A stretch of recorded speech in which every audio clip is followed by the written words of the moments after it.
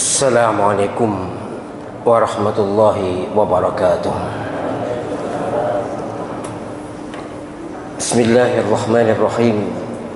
الحمد لله رب العالمين.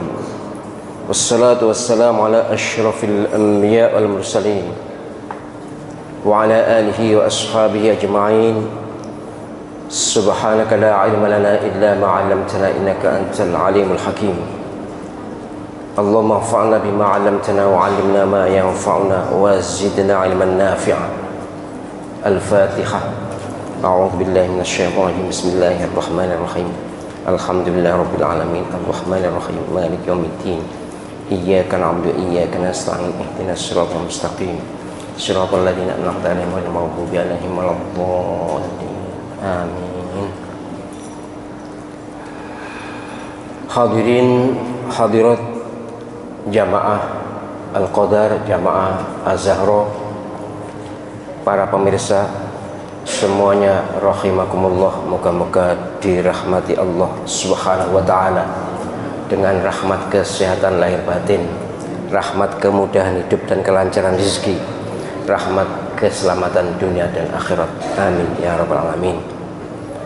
Mengawali kajian Islam itu mudah saya akan menjawab beberapa pertanyaan lebih banyak terkait dengan korban.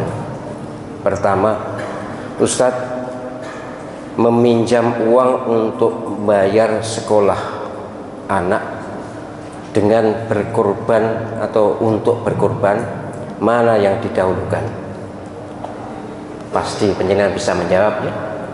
Korban itu hukumnya bagaimana ya memang Imam Abu Hanifah mewajibkan bagi yang mampu tapi umumnya jumhur ulama mayoritas ulama menyatakan hukumnya sunnah bagi yang mampu.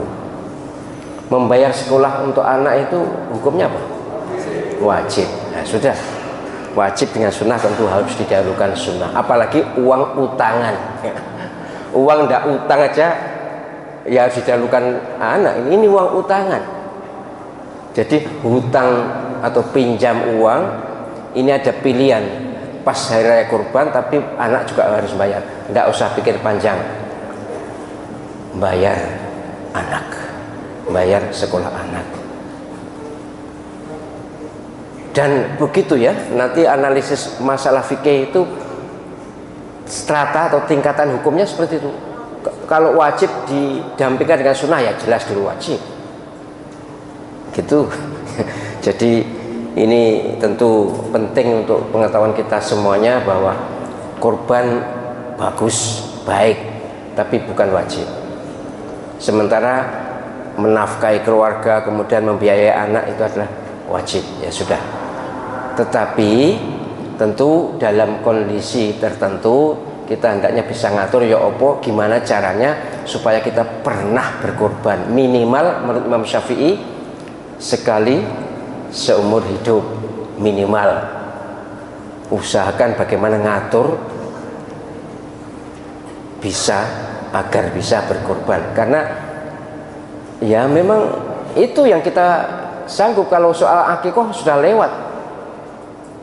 Masih ada yang ngotot oh akikoh sekarang boleh bahkan yang sudah meninggal boleh. Itu ngarang sendiri dan membuat syariat sendiri itu risikonya tinggi sekali.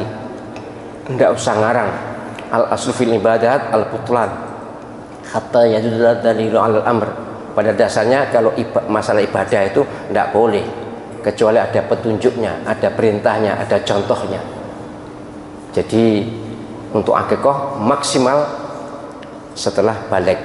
Maksimal umur balik. Setelah balik sudah tidak ada lagi akikoh toh hukumnya juga sunnah. Jadi tidak usah ngotot kalau kurban ini sampai seumur hidup bahkan setelah wafat pun boleh dikurbani oleh yang hidup tentunya.